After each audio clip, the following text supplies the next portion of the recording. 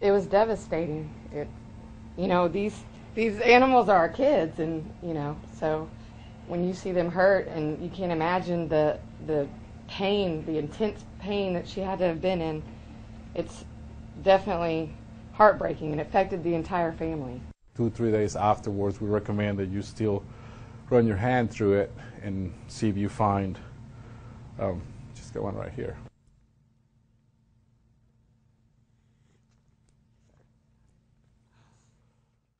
It was devastating. It, you know, these these animals are our kids, and you know, so when you see them hurt, and you can't imagine the the pain, the intense pain that she had to have been in, it's definitely heartbreaking and affected the entire family.